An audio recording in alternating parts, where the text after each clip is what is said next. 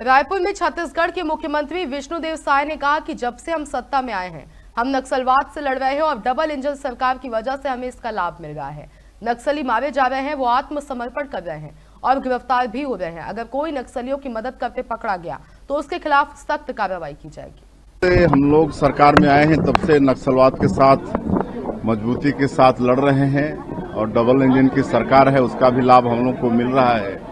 और इसमें नक्सली मारे भी जा रहे हैं, आत्मसमर्पण भी कर रहे हैं, उनकी गिरफ्तारी भी हो रही है और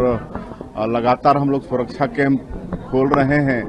जिसके माध्यम से जो सरकार की योजनाएँ हैं, उनको लोगों तक पहुँचा रहे हैं। एक नियत नीलानार योजना आपका अच्छा गाँव, जिसका हिंदी अनुवाद है,